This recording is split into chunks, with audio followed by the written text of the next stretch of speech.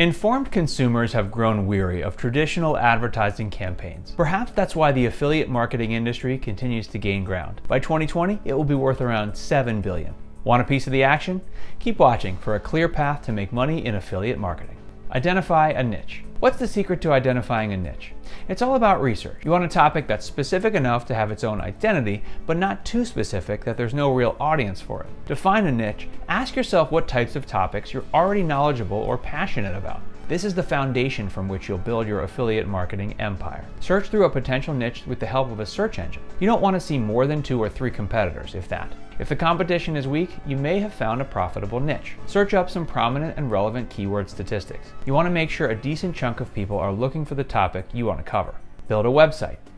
Many website hosts will guide you through the creation process, such as buying a domain, the actual address of your site. Make it something simple and readable, but don't worry about stuffing an important keyword in there. That's what the content is all about. Unless you have coding experience, just do what most people do.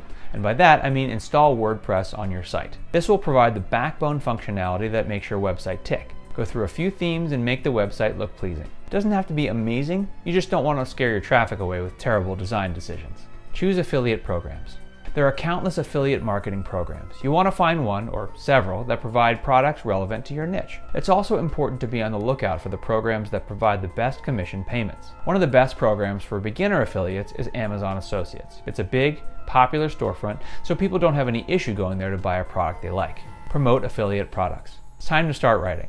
Pump out blog content on a routine schedule. With decent SEO strategies, you'll slowly increase your monthly traffic. Once your website is popular enough to promote affiliate products, you're good to go. But how does the promotion process work? Product reviews are one of the most popular options. You'll write a review about the product in question. Assuming you like it, you'll give the audience a good impression of the item. At the bottom of your review, you'll probably include a call to action that encourages readers to purchase the product. It's here you'll include an affiliate link. When a reader clicks the affiliate link, it will direct them to a website to purchase the item. And if they do, you'll get a portion of the sale. Grow an email list. So you're getting traffic to your site. That's good. But traffic isn't necessarily an audience. You want a dedicated following with repeat visits. An email list is an essential way to not only build an audience, but direct them to your new content, and thus your affiliate links. Use some of your calls to action to ask readers to sign up for your email list.